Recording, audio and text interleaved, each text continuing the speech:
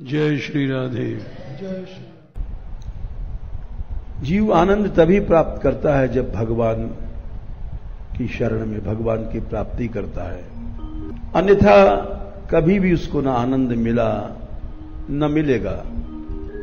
राम भजन बिन सुनो खगेशा, मिटे न जीवन की क्लेशा।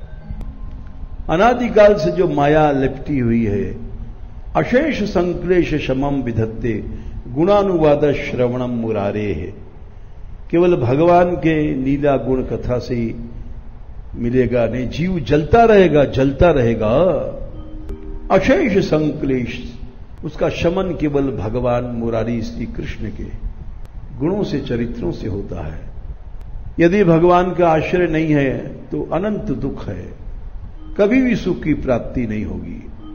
उसी का नाम भगवान है। को विश्राम की पाए। कभी भी सुख जीव को नहीं मिल सकता।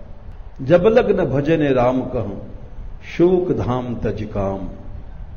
कबो न कुशल लवे, जीव पी पाव विश्राम राम ने पूछा था विभीषण से, कुशल से हो तो उन्होंने कहा, अरे, कुशल। कुशल तो इस संसार में कहाँ है?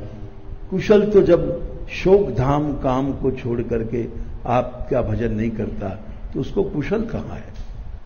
जब तक न भजय जीव, शोक ताज, धाम तज काम। आनंद या कुशल तो एकमात्र भगवान के ही चरणों में है। तो मधुसूदन सरस्वती ने कहा, आनंद कानने हस्मिन भगवान प्रकट भय।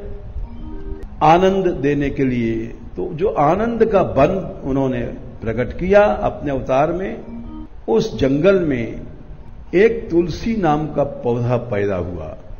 जहाँ तुलसी के वृक्ष होता है, वो ज़मीन भी शुद्ध हो जाती है। वो सात्विक बन जाती है। इसीलिए तुलसी की इतनी पूजा होती है। और ये बात बालकांड के शुरू में लिखा है तुलसीदास ने, जय सुमृत भयो भांगते तुलसी तुलसीदास। मैं भाँग था। भाँग जहाँ पैदा होता है, वो भूमि तामस हो जाती है।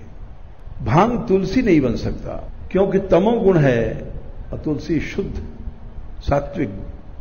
लेकिन उन्होंने इस दोहे में लिखा है कि भगवान का भजन ऐसा है कि भाँग भी तुलसी बन सकता है।